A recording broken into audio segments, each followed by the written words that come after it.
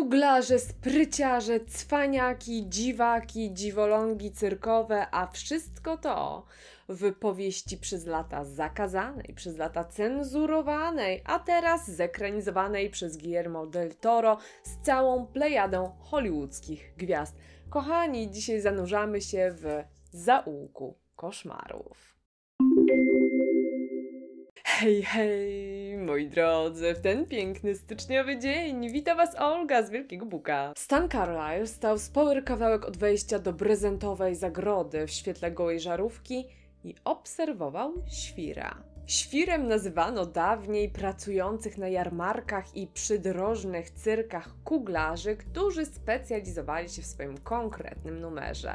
Świry to połykacze mieczy, zaklinacze węży, to kobiety błyskawice, to cała ta grupa charakterystyczna jakże postaci, którą znajdziemy właśnie w zaułku koszmarów Williama Lindsaya Greshama od wydawnictwa Mowa. Przed Wami powieść diabelnie intrygująca, trochę szalona, trochę pokręcona. Oryginalnie natomiast wydana w 1946 roku. Trochę to kryminał noir, miejscami może nawet dziwaczny dreszczowiec. Czy to powieść szokująca? Przekonajcie się sami.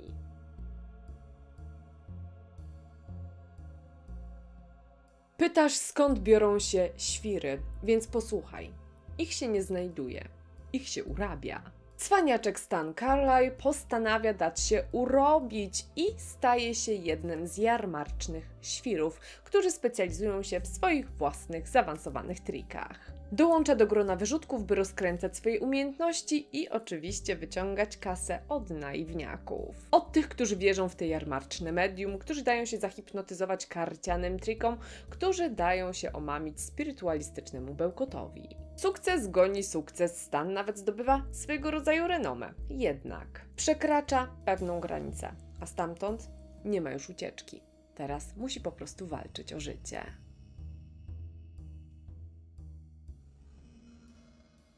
Karty tarota, horoskopy, mentaliści, kuglarze i całe to jarmarczne cwaniactwo. Oto właśnie zaułek koszmarów w całej swojej krasie. Dodajmy do tego jeszcze ten podejrzany blichtr. Migające światełka, zapętloną muzykę, krzyki i szepty, które wciągają łatwowiernych wir. Wszystko to skąpane w alkoholowym otępieniu, w rozpaczy ciemnych uliczek, w tej jednej potrzebie, by po prostu przetrwać. Gresham tutaj stawia swoich bohaterów pod ścianą, on nie daje im wyboru, a przynajmniej sprawia takie wrażenie. Staczają się w ciemność coraz niżej, by wreszcie sięgnąć dna, no i nie każdemu z nich przyjdzie się z niego odbić depresja, brak nadziei, postępujący alkoholizm. Taki powojenny splin, podskórna rozpacz, która rozlewa się podskórnie im dalej wędrujemy po zaułku, im bliżej poznajemy historię Stana. Zaułek koszmarów, kochani, to powieść surowa, bolesna, do bólu realistyczna, taka, która przyciąga jednak swoim charakterem jak mało która opowieść. Być może to jest ta cała cyrkowa otoczka, cały ten jazz, tak to nazwijmy, hipnotyzujący, przyciągający naszą uwagę. Ten język uliczny, celowo wykreowany po to, by prowadzić gierki z klientami na ulicy.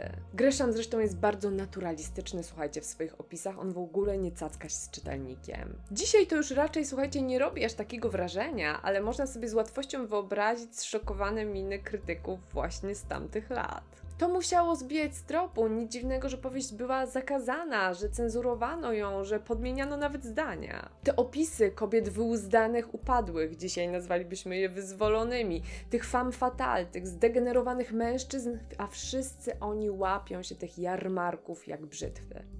A tak naprawdę to tutaj nie ma żadnej nadziei. Muszę Wam powiedzieć w ogóle, że tłumacz tutaj, Ryszard Oślizło, zrobił absolutnie rewelacyjną robotę. To właśnie dzięki niemu zaułek koszmarów ożył tym jarmarcznym żargonem. Tym specyficznym lingo, które pozwala sobie wyobrazić, jaka panowała atmosfera pośród tych jarmarcznych kuglarzy i spryciarzy. Ten specyficzny język zresztą bardzo dobrze oddaje ten klimat desperacji, jaki tutaj mamy, tego rosnącego lęku i poczucia, że no z tej drogi, słuchajcie, nie ma już ucieczki, nie ma powrotu. I tak, powieść Greszama miejscami czyta się z fascynacją, ale czasami czyta się również z obrzydzeniem. To mroczna historia, niepokojąca, ukazująca te najmniej przyjemne aspekty ludzkiej natury, a do tego z perspektywy kogoś, kogo tak naprawdę nawet nie można do końca polubić. Na sam finał historii nie pozostawia tutaj złudzeń. Myślę, że warto sięgnąć po pierwowzór literacki Załuka Koszmarów, zanim sięgniemy po ekranizację w reżyserii Guillermo del Toro.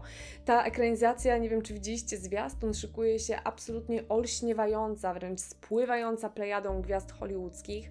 No jestem ciekawa, jestem ciekawa, co del Toro wyciągnął właśnie z tej historii.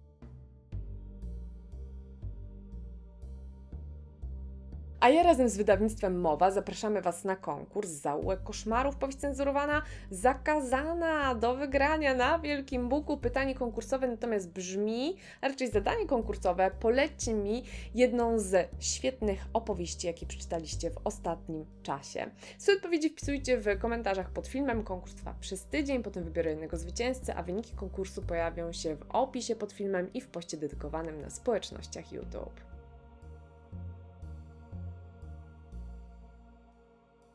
Jak tylko zobaczyłam zwiastun filmu, od razu wiedziałam, że muszę sięgnąć po ten tytuł.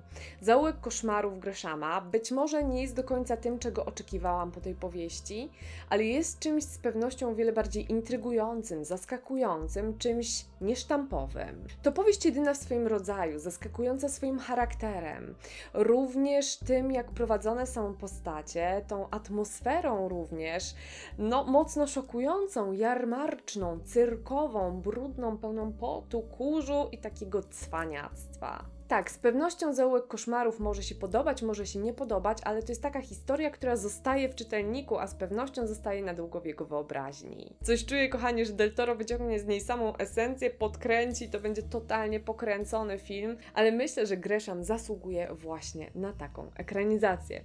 Zaglądajcie, słuchajcie na bloga, żeby sobie o zaułku koszmarów poczytać. Tam również możecie znaleźć kategorię, w której wpisuje się wielkobukowe bingo, będzie Wam pasować jak najbardziej. A my, kochani, widzimy się już niebawem. Do zobaczenia. Pa pa! Zapraszam kochani na wyjątkowy filmik śladami Drakuli Brama Stokera. To nie jest do końca recenzja, zaglądajcie tutaj coś pewnego ciekawostek i naprawdę intrygujących faktów. Jeśli jesteście nowi, to witam Was serdecznie, możecie subskrybować ten kanał, ale przede wszystkim bawcie się pysznie. Do zobaczenia!